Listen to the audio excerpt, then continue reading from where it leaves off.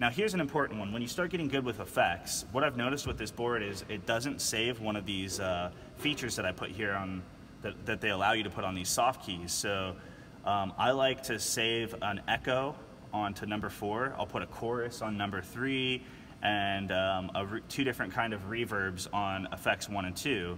So just to give you the, an example of what these are, um, effects one here, if we go to the library, what I did is I pushed effects and I'm selecting effects one and it tells me that it's a hall small vocal. So let's go to effects two. This one is a Hall 480. They're replicating a Lexicon 480, uh, which is a very popular reverb in the 90s. Uh, was used on like a lot of pop records. So that's pretty cool, but I actually would rather like take it one step further and go into where, if we just go into, if I go back here, there's called a source. Oh, I'm sorry, it's called something else. It's called library. Okay, when I push that function key, it takes me to this library of presets.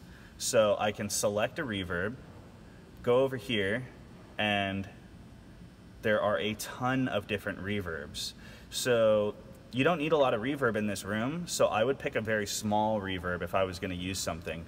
Um, so anything that says small is gonna be cool. Like plate small space, right? Now think about this one. Our first, our first one was a hall, so we don't want two hall reverbs, mm -hmm. right? So maybe we make one hall reverb, one plate reverb. So then uh, that's what we've got there. So we push recall, and now you can see that effects one is a hall small for vocal, and effects two is a plate small space. And the reason why we would do that is because for effects one, maybe I would like to use the, this reverb a little bit on the vocals, right? It would just make those vocals nice. And then effects two, I would use on the band, you see, and give these guys a little something. And then during the show, when like, um, like the music like breaks away and maybe it's just a kick drum, I actually will hop to my effects number two and I'll go to my kick drum track and I'll find it. Okay, it's on channel 21. I will start to push this reverb on that kick drum as this part swells bigger and bigger and bigger. And then when that part's over, whoop, put the reverb right back to where it's supposed to be. If you can get good at bouncing back and forth, you can be a real, really, like really, really cool about, you know, making effects kind of ebb and flow with the track. It's really rad, a lot of fun. Um, so that's what I would do with those effects. And now since I just made that setting on effects one and effects two, I'll go in here to my scenes and select Sunday setup and store. So that was me dialing in the reverb. Now let's talk about effects number three. Effects number three, I'm gonna make a chorus. So I'm gonna go in here to function. I'm gonna choose a modulator. And I'm gonna go in here and find one that I think is gonna be nice for us. Symphonic Vox. That might be pretty nice. There's this echo chorus, that sounds kind of cool. Two track Vox. I don't know, I always, every Sunday, I always use a symphonic Vox. I just kind of like this guy. It's a really cool doubler effect. It will just kind of spread vocals and make them wide sounding, and, and I like that. So We've got that here on effects 3.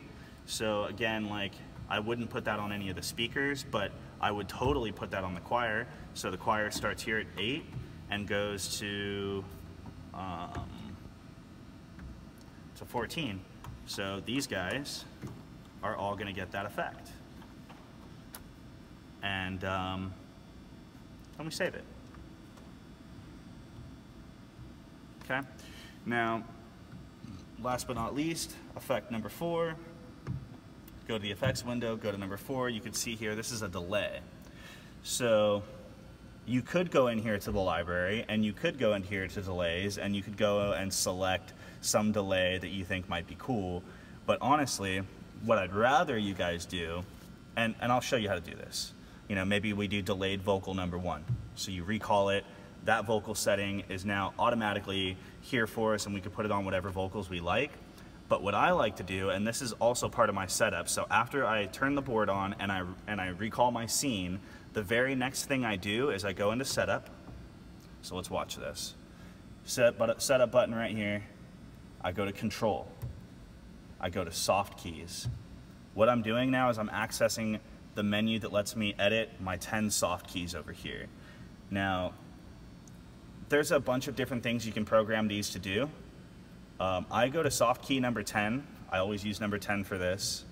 And uh, I do tap tempo left and right. Now, this is only going to affect the chorus effect.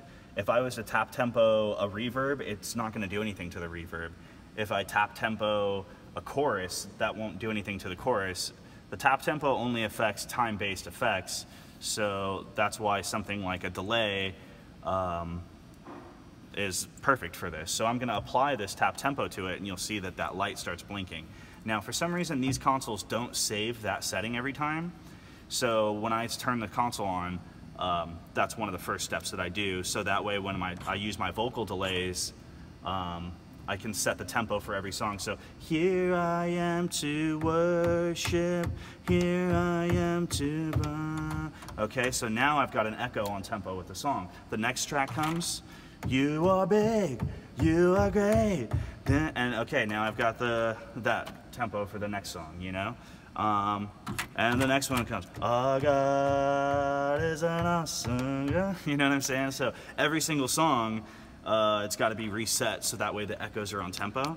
Otherwise, it's going to be kind of weird um, just hearing an echo happening that's really not on beat with the music. So that's really important.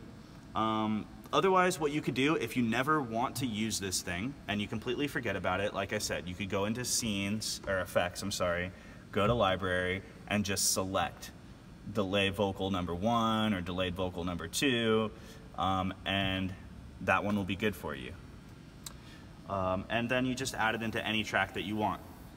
So I'm not gonna actually put any echo on anything because I'm not sure which vocalist you're gonna want echo on or which ones you're not. So I'm gonna actually leave that out, but just know that if you wanted to put echo on anybody, you would just go here to effects number four and add however much of that that you want on that specific channel.